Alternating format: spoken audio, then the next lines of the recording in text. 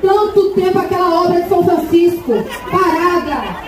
Quanto tempo a transposição de São Francisco parada? Quem quer fazer, faz.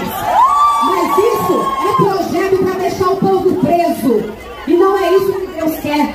Quando o justo governa, o povo se alegra. E quando o ímpio governa, o povo geme. Chega. Basta de corrupção.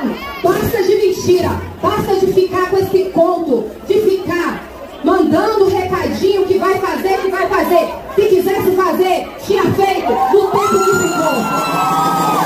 Chegamos aqui em quase quatro anos, tendo que fazer uma faxina, tendo que montar ministérios. Deus levanta pessoas sérias, com o coração voltado para aqueles que mais precisam. Hoje nós temos a nossa eterna ministra, a nossa querida senadora Damares, que vai ser a voz das pessoas que mais precisam dentro do Senado. Chegamos. Nunca, nunca falaram sobre doenças raras no governo. Sabe por quê? Porque era caro. Porque era muito caro.